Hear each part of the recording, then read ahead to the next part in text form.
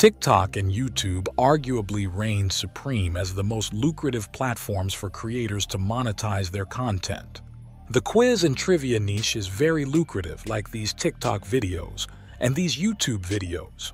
This quiz TikTok creator is pulling in hundreds of thousands to millions of views, while this YouTube channel, as per Social Blade, is raking in $4,000 a month. Today, I'll guide you through creating viral history quiz videos that can potentially earn you thousands on both YouTube and TikTok. We'll be using ChatGPT, Canva, and CapCut. Let's get started. So, our goal is to craft videos eligible for TikTok's Creator Rewards program, initially known as Creativity Program Beta, alongside YouTube's partner program. Here's an overview of TikTok's requirements for the Creator Rewards program. Videos have to be longer than one minute with over 1,000 views, 10,000 or more followers, and 100,000 views within the last 30 days. Additionally, creators must be at least 18 years old, personal accounts only.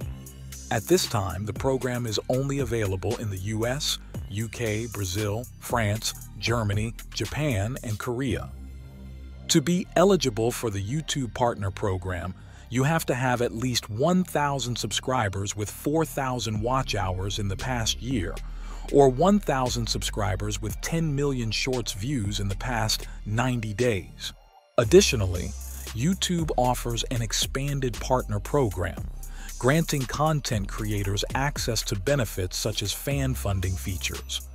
To qualify, creators need 500 subscribers and at least three valid public uploads in the last 90 days, along with either 3,000 valid public watch hours or 3 million valid public shorts views. Now that we've got the monetization requirements down, let's navigate to ChatGPT. Now, I'll paste my prompt, which asks for the creation of 10 multiple-choice general history questions, arranged in a tabular format.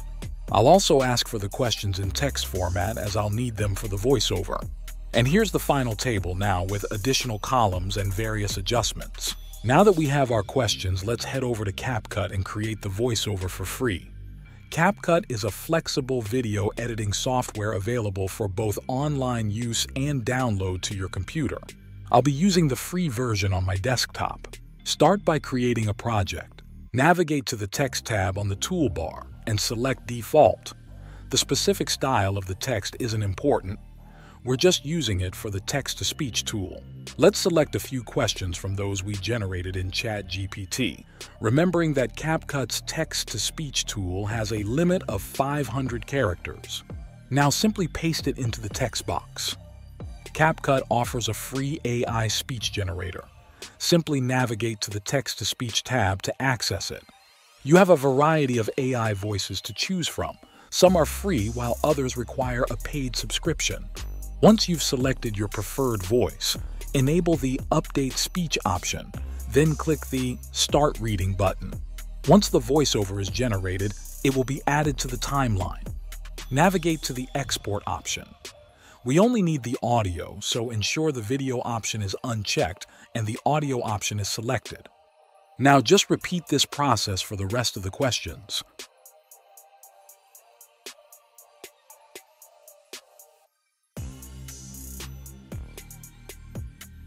So I created a new mobile video design in Canva. This is the size required by TikTok and YouTube Shorts. Search for quiz template designs and choose the one that best fits your requirements.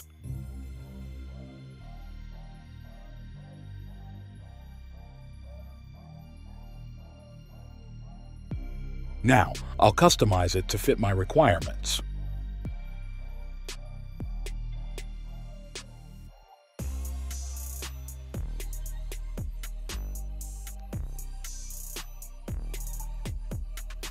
I'll change the background to something more fun.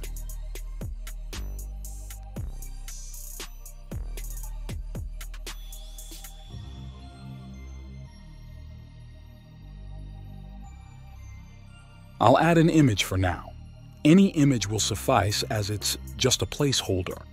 Later on, we'll replace it with one that truly captures the essence of the question. Canva offers a fantastic array of images for your projects, but you can also use your own if you prefer. Ensure your text boxes are adequately sized to accommodate the text they'll contain. Otherwise, text wrapping could affect the design. I'll refine the styling of the question a bit more. Then, to ensure adequate spacing, I'll paste the longest question from the table and adjust its styling, if necessary.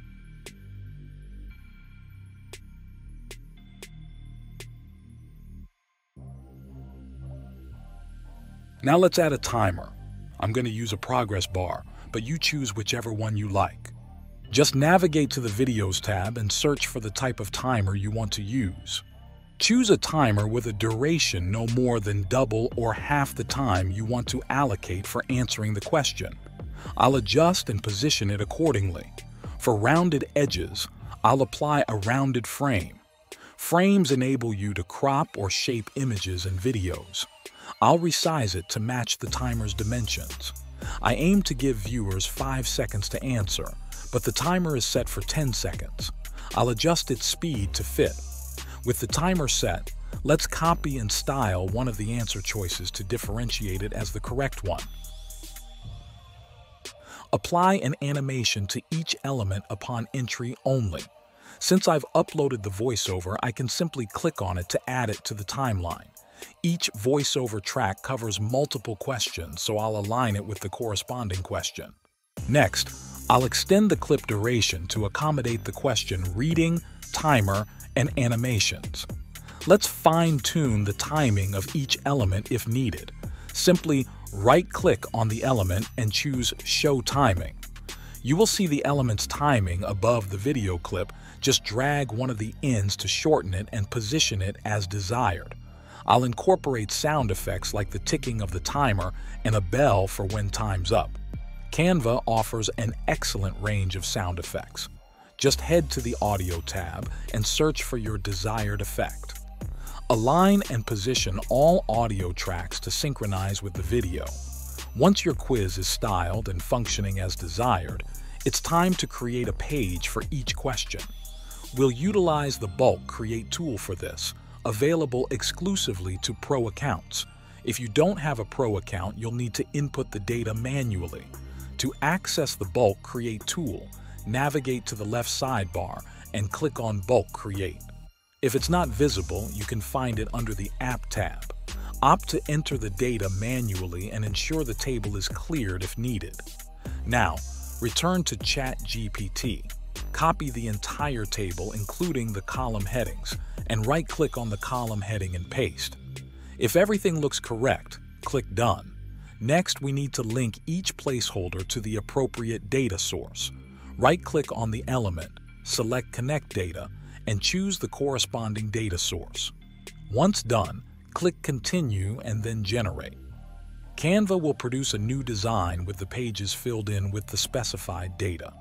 I'll review each page to ensure it functions correctly making any necessary adjustments. I'll also position the correct answers and replace the placeholder image with one that matches the question.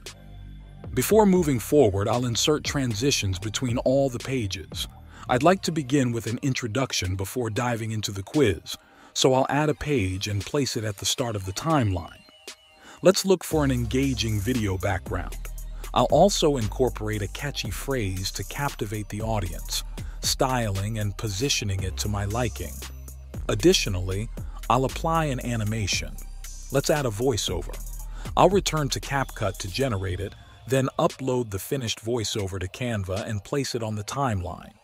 After adjusting the clip length and adding a transition, the page addition shifted the audio track positions. I'll correct this, but let it serve as a reminder. Always add pages and transitions before adjusting audio tracks. You might have noticed the audio tracks didn't transfer during the bulk create. We'll need to duplicate the tracks, ensuring they are positioned to sync with the video and the voiceover is adjusted to the correct question. I believe adding a page to prompt users to subscribe and comment would be beneficial. Placing it before the final question increases the likelihood of viewers seeing it. I'll use the same video from the first clip. Then I'll add a text element duplicating it for each message I want to display. After creating the voiceover in CapCut, I'll integrate it into the timeline. Align the video clip with the audio and insert a transition. We'll also need to readjust the audio track positions. I'll fine-tune the timing of the text elements to synchronize with the audio, adding animations as needed. Finally, I'll layer the elements accordingly. With the quiz complete, it's time to download. The quiz's duration is 1 minute and 41 seconds, fitting for TikTok's Creator Rewards program, but exceeding YouTube Shorts limit. You have a few options.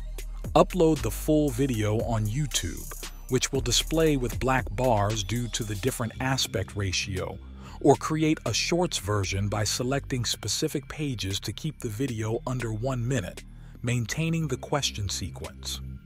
If opting for multiple shorts, remember to adjust or remove the question numbers manually. Armed with this knowledge, you can craft viral quizzes for any topic, whether it's math or pop culture. While background music could enhance the experience, I've chosen to omit it for this video. Though designed for TikTok and YouTube, the video can also be shared on Instagram and Facebook. And here's the result. Answer all correctly and join the Genius League. Who was the first president of the United States?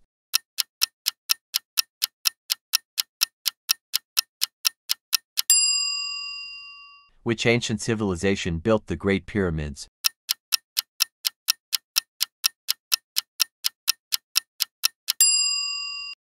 When did World War II end?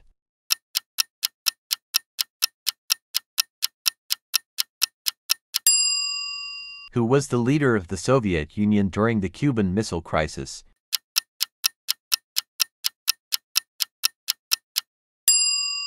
Which European explorer reached the Americas in 1492?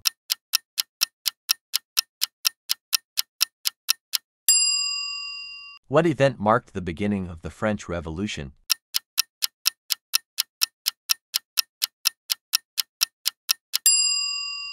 Who was the first female Prime Minister of the United Kingdom?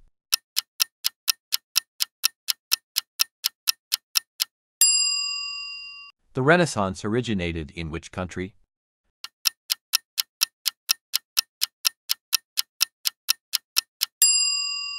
What was the primary religion of the Byzantine Empire?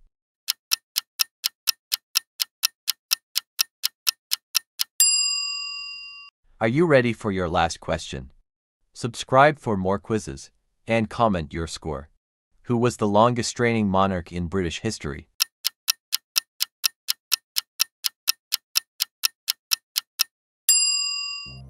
I hope you found this video useful. Please like and subscribe and leave a comment below. Thank you for watching.